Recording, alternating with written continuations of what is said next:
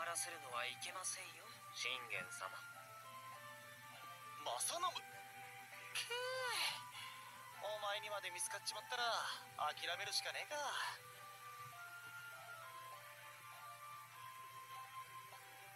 いやこれぐらい大したことないよ。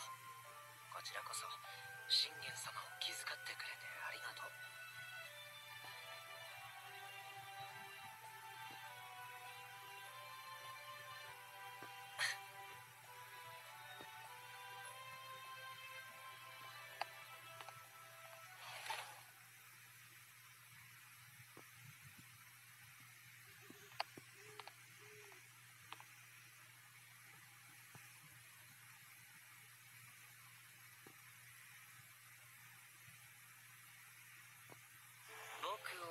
けてきてくれたの？だとしたらすごく嬉しいんだけどな。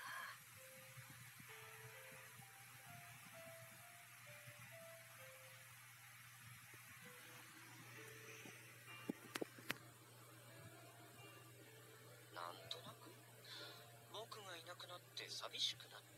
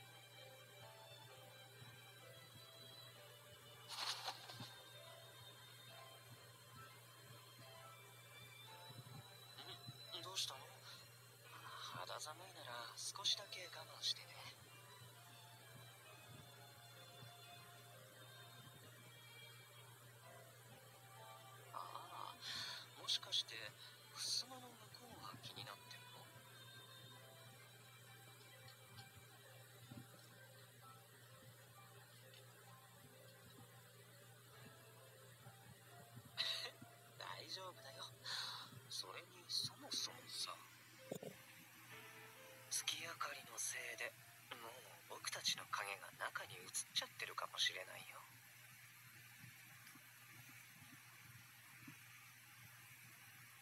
でも見せつければいいんだよね。僕はそれで構わないし。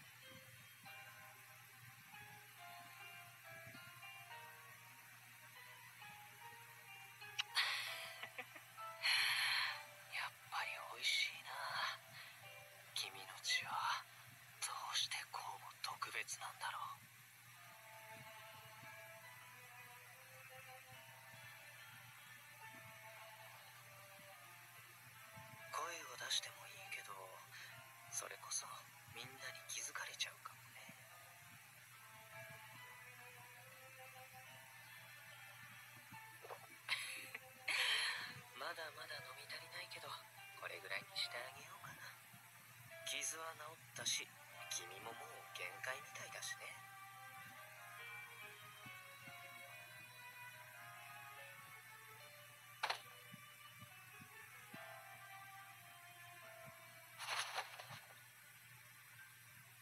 美味しかったよ。ありがとう。